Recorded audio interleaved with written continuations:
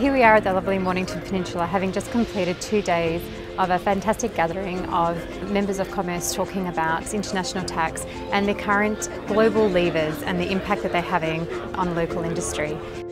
A key trend affecting all industries is the impact of digitalization on existing business models.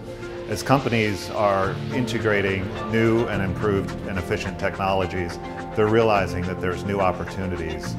The globalisation and the introduction of technology is changing the way we can tax organisations and this is a fundamental issue that uh, Australia and New Zealand are impacted by and are going to have to deal with shortly. The other thing we're doing is we're trying to transform the productivity and the margins that we get from business by introducing tools and smarter ways of working and allowing our people to provide more value-add services rather than just simple process-driven compliance obligations. What we do know is business is plural.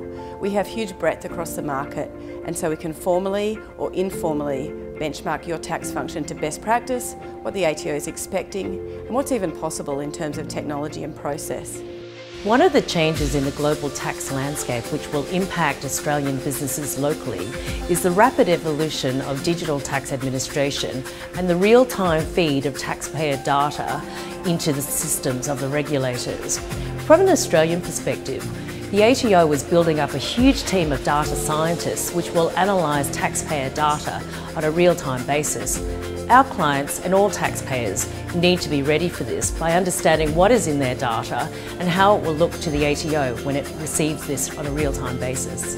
Positions adopted in other jurisdictions may impact how the ATO reviews positions adopted in Australia.